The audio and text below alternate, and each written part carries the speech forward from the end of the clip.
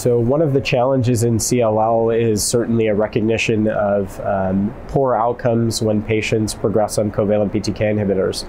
For a number of years, we've had access to venetoclax, but I think it's important to note that there's really only one small study where we had defined what outcomes could look like for patients on venetoclax who had progressed on a covalent BTK inhibitor. That was a small phase two study that had not been updated in a long time.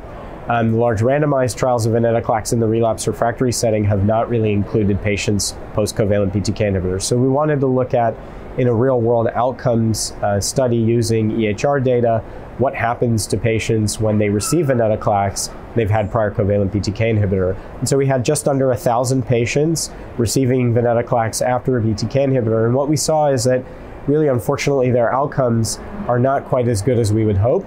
Um, we saw, uh, looking at the time to treatment discontinuation was short. Patients were on venetoclax for less than a year.